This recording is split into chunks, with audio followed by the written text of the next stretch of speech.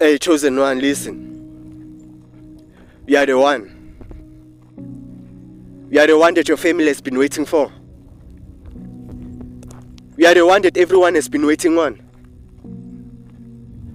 You are the one that the world has been waiting on.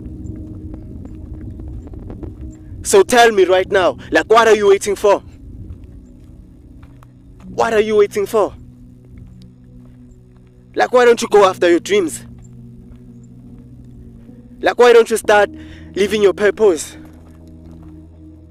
Why don't you give your gift to the world? Because everyone has been waiting on you. The world has been waiting on you. Your family has been waiting on you. Why don't you start now? Why don't you start today?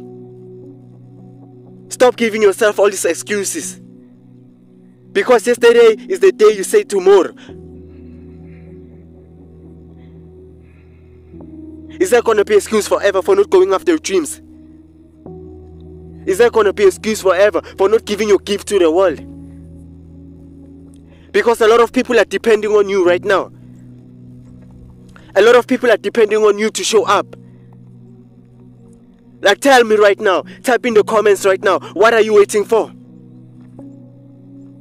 Are you waiting for everyone to support you? Are you waiting for the world to catch up on you? Listen, you just need to start. You just need to start. You need to start where you are and you need to start with what you have. Because the world has been waiting on you. Your family has been waiting on you. The strangers that you don't even know, they've been waiting on you. Waiting on you to show up. But you keep on playing with your gifts. Right? You keep on playing with your gifts. God has given you a gift and you need to give it to the world. That's what you need to do. Or are you afraid of being judged? Are you afraid that people are going to talk about you? Listen, people are going to talk about you anyway. Your haters are going to talk about you anyway. Like, let them talk about you while you keep on living your life.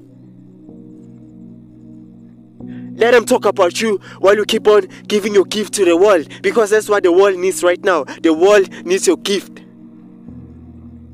Like, you're the one. You're the one. I need you to look at look at yourself into in the mirror every single day and tell yourself that you're the one because you're the one. You're the chosen one. God has chosen you to be alive. God has chosen you to give your gift to the world.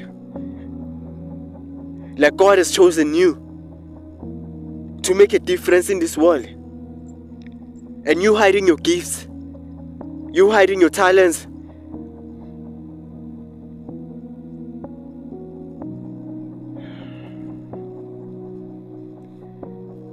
You are doing you are doing a disservice to this world. Because there are a lot of people right now that are depending on that gift that you have. You just need to give your gift to the world. You hear me? You are the one. Now go and make a dif- no, now go and make a difference in this world. Go and make an impact in this world. But like I always say, believe that